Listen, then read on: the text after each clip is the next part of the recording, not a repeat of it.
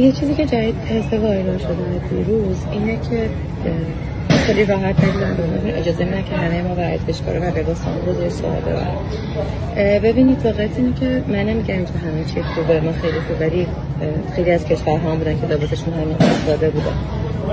چرا باید انقدر بی فرهنگی بینمون راحت رواج پیدا بکنه؟ واقعا چی شده به همون که انقدر مسخره کردن اینقدر توهین کردن به بقیه برامون خنده داره و اجازه میده هر کسی این کارو بکنه و خوشمون هم میاد که این کارو می‌کنه. بیاید این کارو انجام ندید اگه اعتقادی هم هست میشه خیلی با احترام این کارو انجام واقعا نمی‌دونم از کی تا به خدا در میدیم ما چهار تا ورزشکار قرار تو دهکده بودیم که اومدیم و صحنه ایران رو گرفتیم.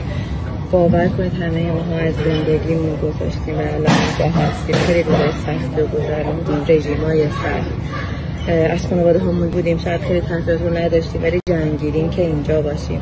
و اومدیم که بهترین اتفاقا رو اینجا رقم بزنیم. برای همه. باور کنید که من که همین الان تو واقعا اینجا وایستادیم توی کشور آسیا قطعی شاید یکی از کلوب اونها تجهیزات نداریم. ولی هیچ وقت باعث نشده که ما در سرچ ما الان دو تا کشور آسیایی هستیم که تو المپیک اینجا توی میدون برد و رقابت بکنیم.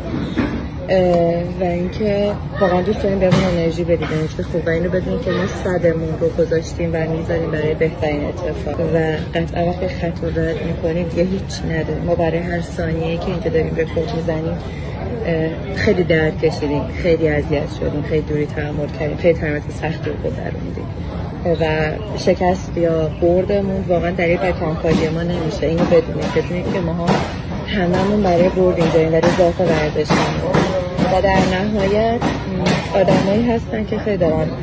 به نظر من با این بیفرهنگی که شاید متاسفانه روش پیدا کرده و مسخره کردن میان جلو دوربینا اگه تو هم از اونایی هستی که الان اونا رو داری که میان جلو دوربین مسخره بازی در میارن و تو میخندی بهشون و میای در نهایت دوباره در مورد بقیه نظر میدی لطفا این اجازه رو به خودت ندارد چون ما خیلی با هم دیگه فرق داریم.